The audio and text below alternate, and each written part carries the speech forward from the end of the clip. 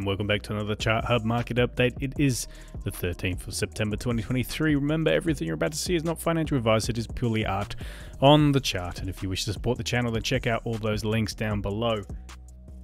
Come and join us in the Discord if you're interested in getting the Chart Hub signals. Come and join us in there for some fun. All right. Bitcoin, as always, doesn't change. First up, Looking at the daily chart here, we did have a, uh, you know, somewhat of a reasonably okay day yesterday. Green, but, um, you know, a good wick on top. Wouldn't be surprised over the next 24 hours or so to see that wick get tested. We normally like to see those things um, happen. So, uh, you know, a good move up during the day uh, towards that high. That's that 26.5. We, we really identified that as an area numerous times previously to get above, but um, we weren't able to. And, and closing in on that 200 moving average on the four hour. So, sort of a double area here. They've got the horizontal, uh, basically the supply line, but uh, horizontal resistance along with that 200 MA. But a good move up. You do see the supply come in and then, uh, you know, a reasonably good supply candle just here, in fact. But price not really able to push um, lower and not able to push below that 50 MA. So, yes, it's red, but with that 50 moving average, you can see, uh, you know, a lot of volume, and, and it's it's almost like it was, uh, you know, compressed right into that moving average and just held that. So, so far, a little bit of a low volume uh, over the past few hours, as expected. London uh, is pretty much open now, um, and, and, not much going on. Okay, but uh, like I said, expect uh, you know us to come up and test 25.6, maybe another time. You know, test that supply that come in. That would be more of a bullish uh, feel. You know, definitely give you a, a feeling this was more like a spring. Um, you know, the volume initially didn't have sort of a, a spring feel, but uh, definitely that increase on the move up felt a little bit nicer, but the inability to break above this high. Let's give it another go. If we can't break again, or even a failure to get to that uh, high, you know, we'll be putting in some form of M shape potentially. But a failure to get to that supply line would uh, definitely show a lot of weakness. I don't think our uh, indicators are really going to give us much clue here, but uh, our PRI is facing downwards. No, uh, you know, no major indication here. Um, and one hour is fairly neutral after it's uh, been pretty, pretty relaxed for quite a few hours now.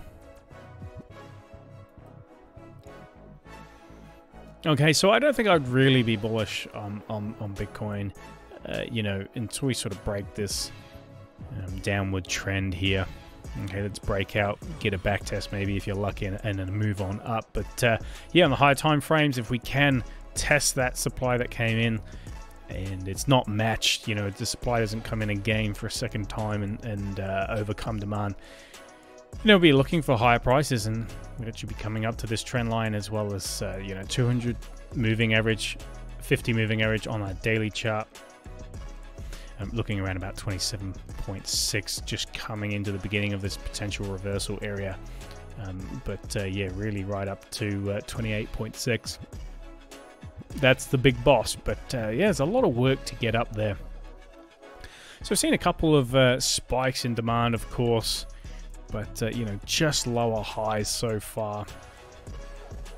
Not uh, not great, not the best. Okay, so so definitely still not looking bullish, but the fact that we haven't broken down, still, hey, we're just hanging on, and uh, you know, maybe maybe this move here, uh, what we saw yesterday was just another opportunity for um, you know for for supply for you know the composite operator to offload a little bit more um, and then maybe initiate initiate or look to initiate a move down anyway not much to say about that still managed to go through five minutes uh, nasdaq red day yesterday rejecting the bam of the bearish butterfly so far let's uh, you know keep an eye on that for now we'll, we'll keep it up going to hide H HPC for a second because of its uh, inability to print the Gartley correctly, unfortunately. Um, yeah, the Gartley already had our Type 1. This is our Type 2 return, now our Type 2 reaction. If you watched yesterday's stream or you watched the market update, you would have known that this was a good. In fact, even the update before that, this a potential reversal area. This is why we have it. This was a good area with a nice bit of confluence for the uh, for the pattern completion of the Gartley. And that's, uh, you know, that was our potential reversal area. And here we go. So some good supply coming in yesterday. Let's have a look at the daily. Yeah, again, we, we've spoken about this, right? We have spoken about this. how the supply on the days down is a lot larger or is larger maybe not always a lot larger but is larger than the uh, than demand on the green days and we see a massive bearish engulfing candle yesterday on the daily um, one day 12 hours that's a, you know quite a way to go until we confirm the three day candle but already uh, you know starting to take out most of the previous um, and in terms of the weekly there's definitely some uh, mirror action going on here. um, but, uh, you know, we spoke about uh, the much, much, much larger pattern. Sorry, I go to the three day. We did talk about the much larger pattern, potential larger pattern. But I, I, did delete that because I wanted to see the butterfly a little bit more, but it still sits there. We'd be looking for a, a, a more of a stronger, more convincing move down from here to, to really start to think that could be a possibility of a BAM at 14.6. But aside from that, uh, yeah, PRI is facing down on the daily, um, though the four hour is um, just coming out of oversold. So we may see a little bit of a move up uh, at the beginning of the day up to 15.8, something like, oh, sorry, 15.5, just short of 15.6. Okay, round about uh, this little level just here, um, before uh, before moving moving down. Um, let's turn on that PRA just one more time. Yeah, so maybe just short of this PRA. Actually, maybe just just coming into it here. So maybe coming up to that 50 MA on the four hour. Uh, sorry, the one hour. Um, 15.6, 15.5 pre-market, maybe market open. Then uh, you know that could be an opportunity to uh, to to take a position to uh, to the downside. Maybe a little bit of confluence here, potentially with this uh, with this trend line. Natural gas had a really good day yesterday. Massive, massive green candle. And hey, just coming up to almost coming up to uh, right up against resistance. Um, price action looks like it's just um, contracting a little bit, which uh, isn't isn't the worst thing. Um, you can just see, can, can you see it? Can you see that little pattern in there? Okay, there you go on natural gas. So just contracting a little bit so far, but uh, hey, I'm still looking for those lower prices. So, you know, we could just be doing this. All right.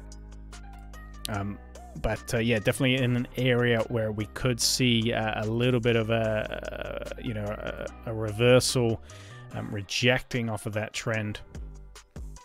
And just below that PRA as well. Let's have a look on the 4 hour anything. Yeah, so just below a PRA. On the 4 hour, we had the bearish um, PRS signal. Okay, it's a potential reversal signal. So uh, yeah, nice little bit of confidence up against that trend line to, to reverse there on natural gas. DXY, let's see the DXY going uh, a little bit choppy choppy sideways at the moment. Um, currently uh, looking like, uh, yeah, the again, cloning these candles, right? Two candles that look the same, um, just heading sideways. Um, not the worst thing to see after such an incredible move up. Not the worst thing to see if you uh, you know want, to, of course, the DXY to continue its move to the upside. But yeah, declining volume on the lower time frame, better con consolidating price action. Like I said, not the worst thing to see. Um, and gold and silver, hey, uh, yeah, not too much to say. Gold, uh, not the best day yesterday, heading down towards that 200-day moving average, and possibly going to break it this time. Just hanging on so far, but not really a convincing bounce. Um, you know, a reasonably okay supply coming in, and silver, um, bit of a flat day yesterday, but uh, currently down 0.97%. Again, riding that trend line Um, and silver pretty boring lately. Not much to talk about. Let's move on. Apple after their uh, little what do they call it keynote conference type thing getting decimated. Uh, I say decimated was down 1.71. So yeah, we had a had a really good day on Apple, followed by uh, you know not so much of a good day, um, or at least following day is not so good. Okay, so currently down 0.32 pre-market. Uh, the BAM look for 171.96. You break 171.96. There you go. That's the BAM for the bullish bat pattern down to 150 bucks. Um, and that really is our concludes our market update. There's not too much to talk about.